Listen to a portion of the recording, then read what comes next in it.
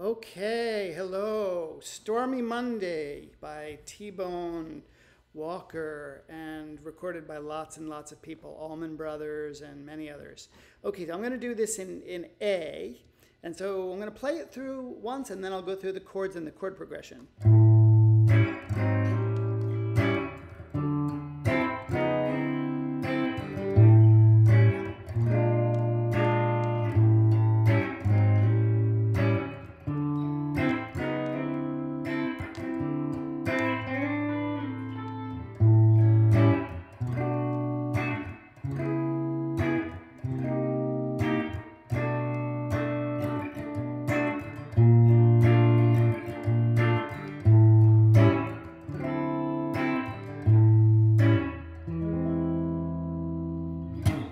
Okay, so we're starting out with an A7, and this um, is we're going to do index finger on the sixth string, fifth fret, middle finger, fourth string, same fret, and ring finger, second string, also fifth fret.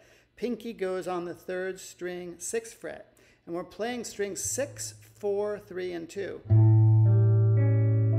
Not playing the first string, and the fifth string gets muted with this, the index finger leaning over. And you'll notice when I play the progression, I'm doing that chord going down one fret and sliding it back up. The second chord is a D9. This I'm going to bar the uh, first three strings with my ring finger going to take my middle finger and go up to the fifth string, and the index finger goes to the fourth string, one fret down. Truth be told, I'm usually leaning this middle finger over, so this finger, even though it's fretting that, I'm usually not really hearing that. And the same thing, I'm going to play that, and then go down a fret, slide back up.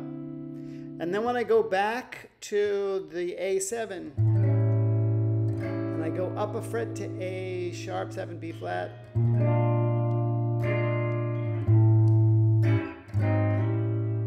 Back to D9. And then I'm going to play that another uh, measure of that D9, but this time. And then what I'm going to do, this I just came up with this. I don't know if anybody else does it, but I think it sounds cool. On the third string, G string, middle finger, I'm going to slide up and I'm going to play the first string. Um, so I'm sliding from 5 to 7 on the third string and getting the first string on the 7th fret also. And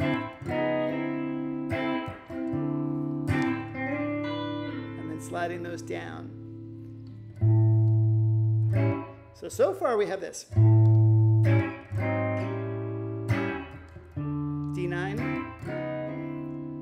To the A7, B flat 7,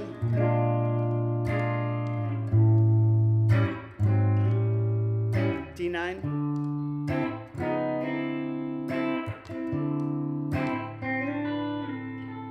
A7. Now we do this next part. Now we're going up to a B minor 7, and this chord I am going to bar with my ring finger strings 2, 3, and 4 at the 7th fret, and then the middle finger goes to the 6th string, 7th fret. That, and that finger leans over and mutes out the 5th string. So we're just hearing, again, 6, 4, 3, 2. Um, so that's my B minor 7. And then I go up to um, C sharp minor 7 to C minor 7 back to B minor 7. And the next chord is going to be a B flat major 7. If you don't know this chord, it's kind of an interesting and different chord. Index finger goes on the sixth string, sixth fret. Middle finger, second string, sixth fret. And then the pinky goes on the third string, seventh fret, and the ring finger on the fourth string, seventh fret. This almost looks like an A minor with different fingers. Um, and that is a major seven chord. That's a B flat major seven. And again, we're playing string six, four, three, two, not one and five. Go back to A7, D9, A7, and the last chord is an E diminished, and it's going to be fifth string, seventh fret, fourth string, sixth fret, and barring the second and third strings at the fifth fret. So one more time all together. A7, D9,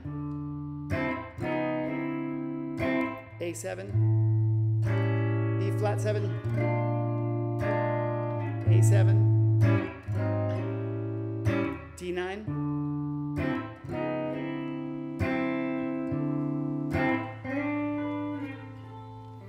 A7, B minor 7, C sharp minor 7, C minor 7, B minor 7, B flat major 7, A7, D9, A7, E diminished. Great chord progression, super classic.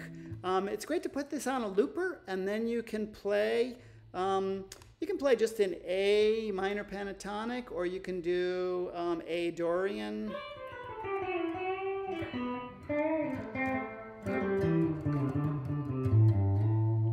I always like to end songs like this on this, um, on like a 13th chord. And so that's going to be um, just like if we make our A7.